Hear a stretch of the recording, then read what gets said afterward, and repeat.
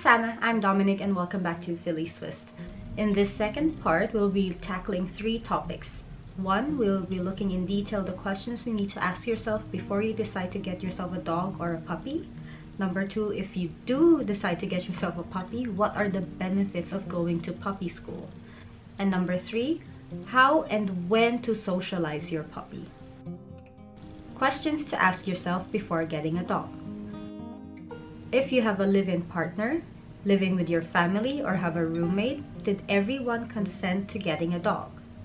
If you're renting, do you have approval from your landowner to have a dog in your home? Do you live close to a dog park or green areas where you can take your dog out for a walk, play, poop, and pee? Do you have enough time to spend with your dog, especially for training and playing? Are you financially prepared to cover not only the monthly expenses and unexpected and unplanned expenses?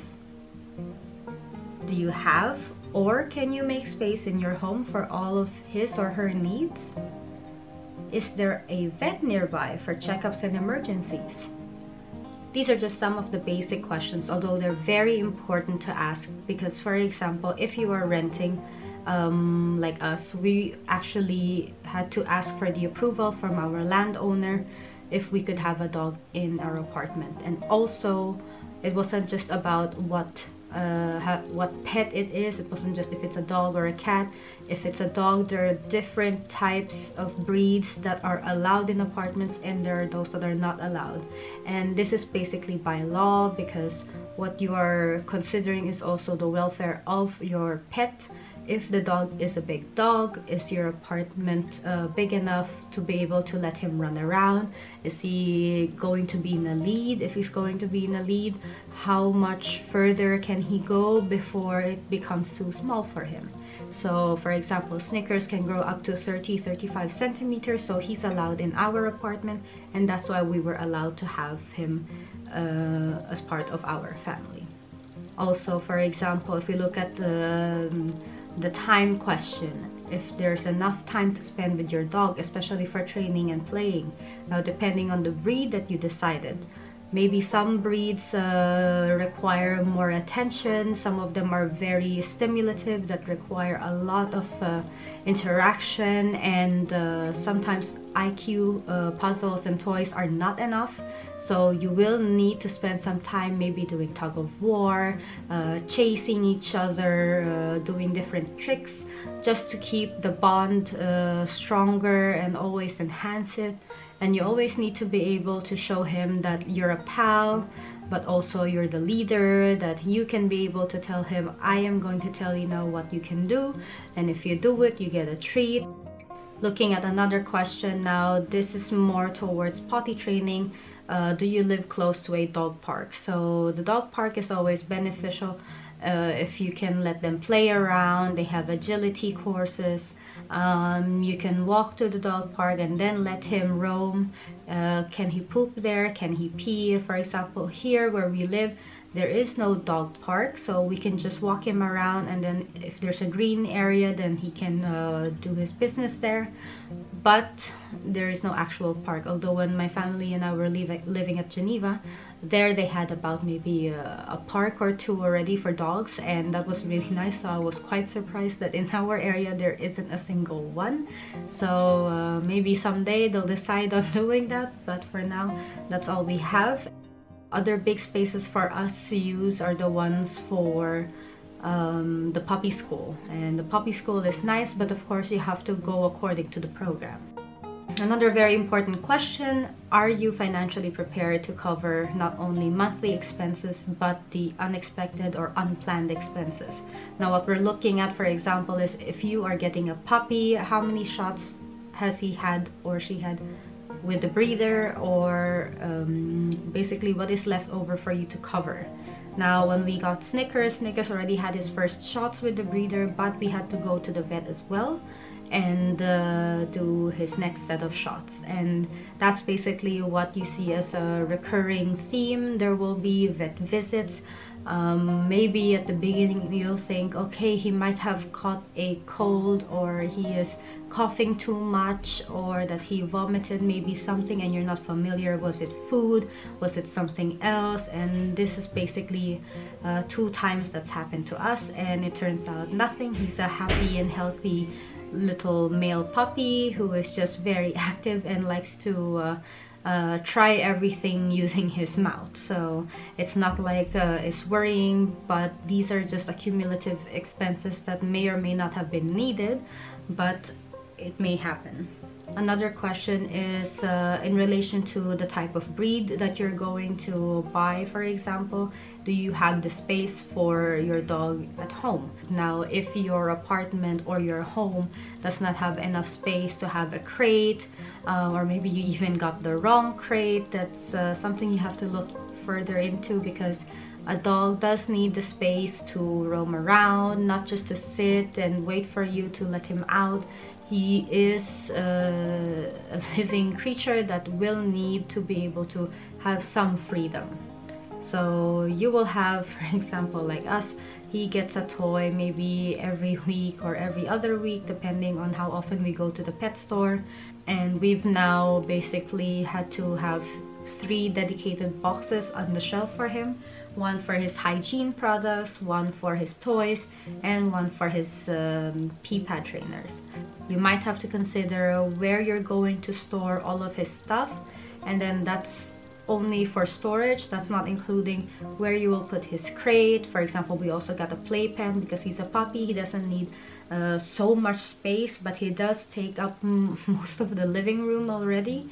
But we've connected his playpen to his crate so that he's free to go in and out of his crate. He has a basket. He has a bed inside the crate. He has his toys his food and water bowl. So depending on what he needs you will need uh, some fixtures that will stay maybe permanently there. Talking about the expenses uh, looking at the question uh, is there a vet nearby for checkups and emergencies? So we also know that our uh, vet clinic our vet doesn't have you know 24 7 so we also know where to go next that they um, suggest that we should go if they are closed. Benefits of puppy school so when we're talking about the puppy school, um, we're looking at the bonding time, the obedience, the peers, socialization, and coaching. These are the five key benefits that I could think of from going to the puppy school. Now, in the bonding time, I remember when we went to the first time to the course, we were actually taught uh, lesson number one on how to um, shoo away other dogs just shooing them away so that our dog knows that if there's something that they don't like they know that we can keep them safe that we are guarding them and that we can make those things go away. So the lesson here is having trust um, feeling safe and for you as well you know where the limit of your dog is the second benefit being obedience now in obedience uh, you're looking at heel, recall with a lot of distractions. Now for us in our puppy school, it is outdoors and it is in an area where there are cars passing because there's a highway and then you have the planes uh, on top and you're like okay can he still hear me? Maybe he can't. But you still have to be able to recall him. So the lessons there are like discipline um, manners with uh, human interaction and dog interaction now, in the third benefit that I mentioned, it's about peers. What I mean with peers are other puppy parents. So you're looking at the fact that you are not alone when it comes to what you're experiencing. Um, I remember when I had to ask a question about uh, his relief period. So something we noticed is that he will not do his business just in any green area.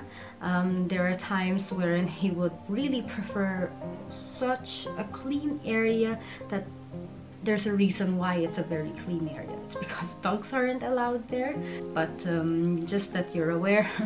um, he is very picky of where he does his business. So I had to ask this question and say, I do not want to let my dog just go and do his business where it's not allowed. Not worrisome but it's kind of embarrassing. And also uh, you feel like there are eyes watching you at the back of your head. You have no idea if someone's gonna catch and say hey you're not allowed to do this here. So and then you're in a hurry to look for another spot for him to look for it. So you are not alone for sure. And um, that's what makes it even better because you get to also find out what is the best way to support your dog. Now that's what uh, the benefit of uh, having a coach as well is. I remember in the philippines we also had our trainer and it was really good how to handle them and everything. It's also good to know what is uh, now considered an updated version of uh, training your dog handling your dog. For example with uh, doing his business she suggested that um, we go to one spot where whether or not um, uh, he likes that spot it will be the spot maybe that we assign to him and say this is where you're allowed now we stay here until you do your business wait um, a couple of minutes.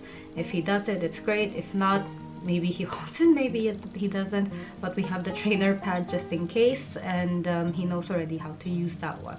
Now, the other benefit that I mentioned earlier was socialization. So socialization is the interaction with other puppies, with other people, and the lessons that are learned there are basically proper introduction, interaction in a safe and controlled space. Safe and controlled is basically the fact that we were in such a big green area, but it was fenced, so no, no dog can actually just get out of the, the area and it's where you can let your dog off lead so that they can go run, run around if that is the activity in the program. Maybe um, the activity is to use the agility um, equipment or for example um, Freilauf, so the free play, you just take off their lead, take off their collar and they're free to roam around. But if your dog's fast uh, or if he's quite slippy then um, you might have a problem catching him when it's time to go back to their place.